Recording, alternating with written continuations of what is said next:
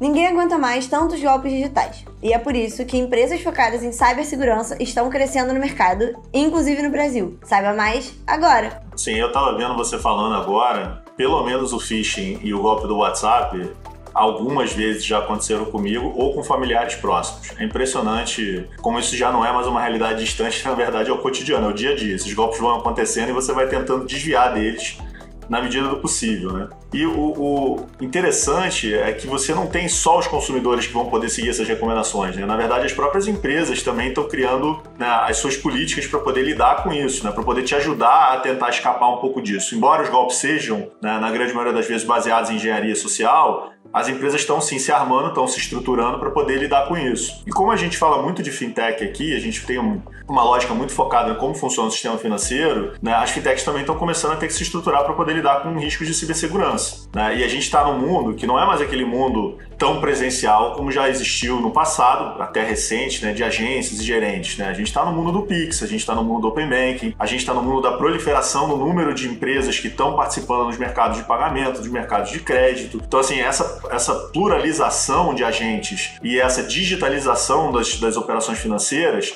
elas são muito, sim, é, é, elas levam esse risco né, e exponencializam esse risco de uma forma que a gente nunca viu antes. Né? Os golpes pessoais estão sendo absolutamente substituídos pelos golpes digitais. Então, como é que elas fazem? Né? Primeiro, elas estão mudando um pouco de foco, né? porque grande parte dos recursos eram feitos em desenvolvimento de produto. Né? Então, não tinha um foco muito específico né, em segurança de informação e segurança cibernética. Agora está mudando. E elas estão montando programas de compliance para poder lidar com esses riscos cibernéticos. E para começar esse programa de compliance, né, aliás, é, isso é um padrão. Se você está fazendo um compliance para LGPD, se você está fazendo um compliance anticorrupção, você começa com uma avaliação de risco. E aqui você está fazendo uma avaliação de risco cibernético. Basicamente, você está mapeando as ameaças, as vulnerabilidades, né, o que tem assim de perfil de risco, e você hierarquiza esse perfil de risco para ver o que de fato é maior, o que de fato é menor, de acordo com a sua operação, de acordo com os riscos e vulnerabilidades da sua operação. A partir dessa avaliação, você vai montar uma política. Né? Você vai ver quais são as ações que você vai implementar para poder lidar com essas ameaças e com essas vulnerabilidades. E aí você tem milhares de formas. Né? Você falou muito de usos de senha, né, procedimentos de segurança.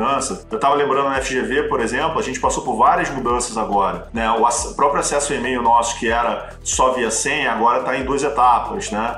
Uh, isso criando né, uma camada adicional porque provavelmente teve muito phishing, né? teve muita tentativa de golpe, e você está tendo assim, uma, um desenvolvimento mais sofisticado né, dos procedimentos de segurança que existiam dentro da instituição. E tem uma, uma, uma parte que é muito comum né, nesses programas de compliance, nesses protocolos de segurança, que é o treinamento. Um pouco que você fez, que é dizer para as pessoas quais são os riscos, as empresas estão fazendo de maneira ativa também com os seus consumidores, né? É uma forma de você se atentar, né, e não cair nesse risco de engenharia social ou de outra natureza, para poder aumentar a possibilidade de reação, né, e você não cair nesse golpe, porque são vários, né, e eles mudam a cada dia. Aliás, isso é uma outra coisa também no programa de compliance desse protocolo de segurança cibernética, né? Essa avaliação de risco que você faz, ela, você precisa fazer isso de tempos em tempos, né? Porque as suas vulnerabilidades mudam, né? O seu perfil de produto muda e o tipo de golpe também muda. Esses 10 que você falou falou, é, eles, já, eles já são meio que o, o, resultado de 2021, né? Que teve esse, esse crescimento exponencial no número de golpes. Né? Eles se diversificaram. Antigamente eles eram mais focados em dois ou três do que você mencionou, e agora eles estão se pluralizando. E você precisa ter um plano de resposta, né? Que é uma ideia de um plano de ação, né? Se acontecer um incidente, como é que você vai reagir? Qual é a forma que a empresa vai lidar com isso para tentar minimizar? Né? Então, além disso tudo, que já é bastante coisa, você tem que começar a se preocupar com terceiros, né? Os provedores de infraestrutura para você.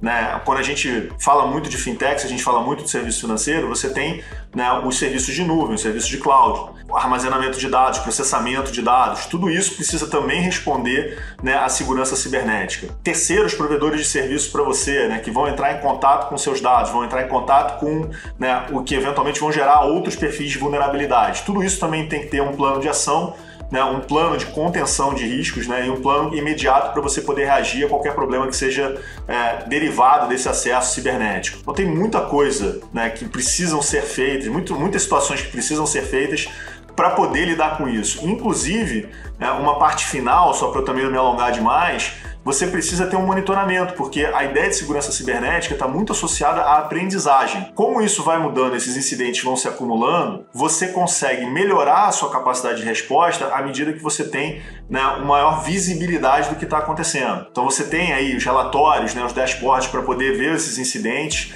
e também sua capacidade de resposta a esses incidentes.